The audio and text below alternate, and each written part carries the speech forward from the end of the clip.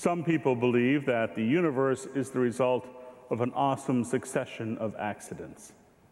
But I can't believe that all of this just happened. It must have been the result of some kind of miracle. And if there was a miracle, then there must be some miracle worker.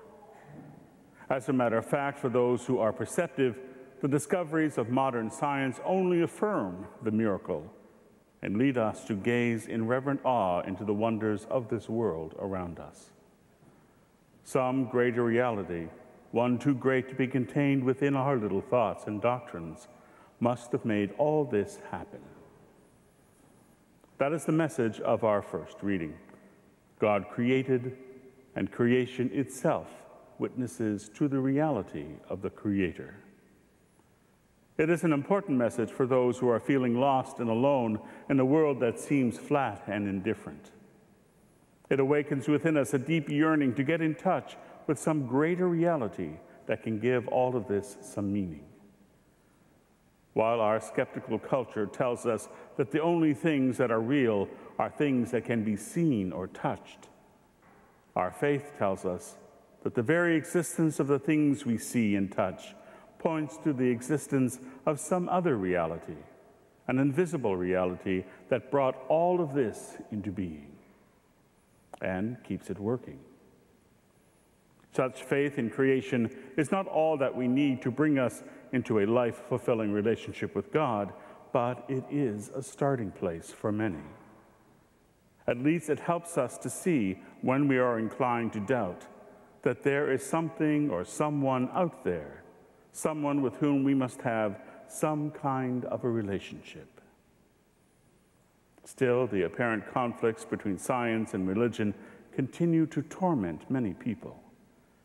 Science demands evidence based on things that you can see and touch before it will claim proof of anything.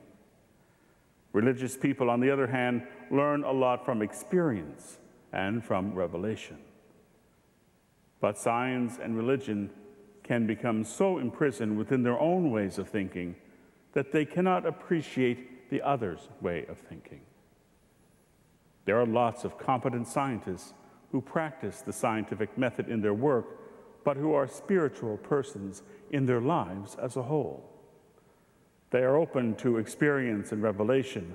These people often find in the discoveries of science ever expanding demonstrations of the reality of God that moves many of them to great reverence.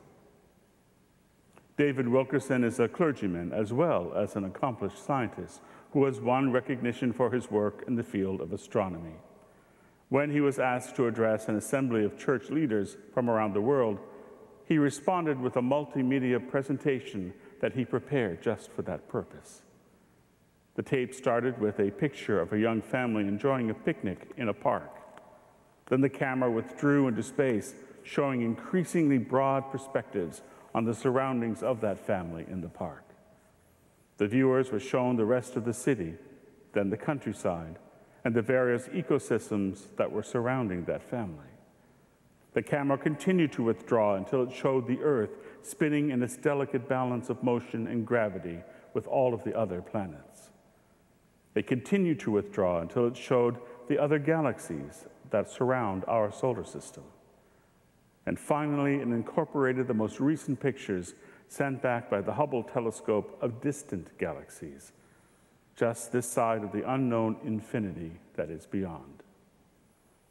Then the camera returned by stages to that family in the park, but it didn't stop there.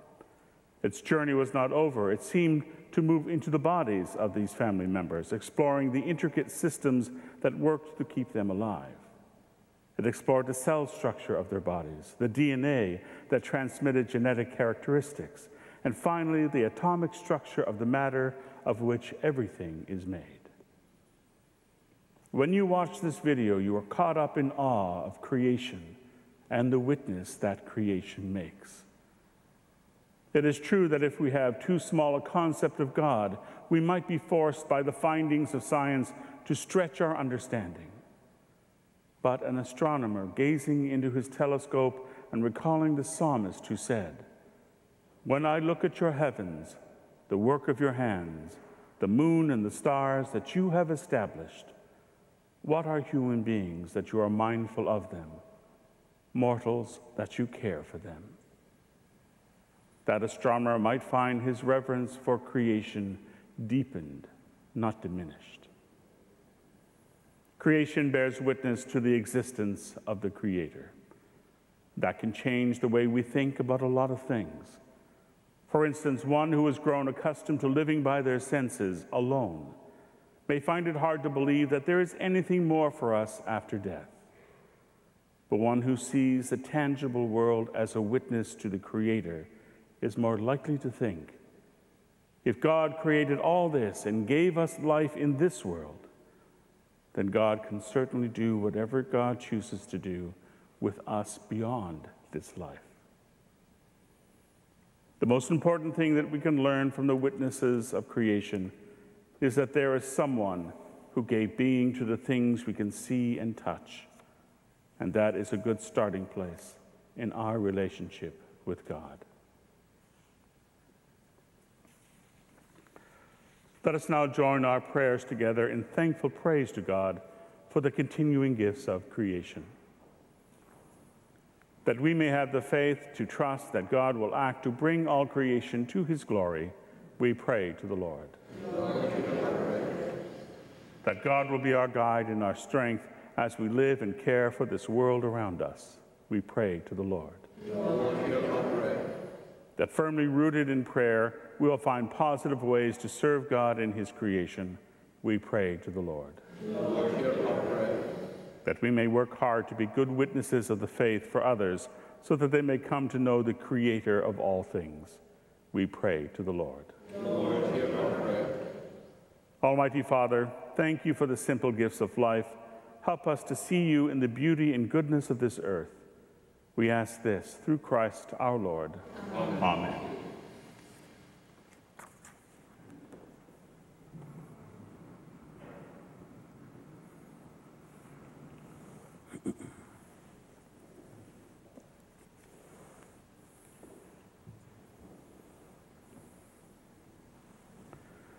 Blessed are you, Lord God of all creation. Through your goodness we have this bread to offer, which earth has given and human hands have made.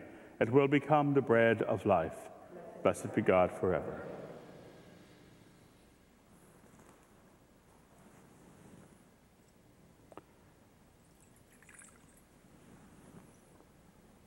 Who is water and wine, may we who share in Christ's humanity come to share in his divinity.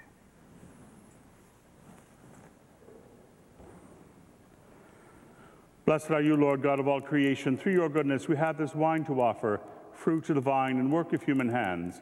It will become our spiritual drink. Blessed be God forever. Lord God, we ask you to see the gifts we offer you with humble and contrite hearts. Lord, wash away my iniquity. Cleanse me from my sin.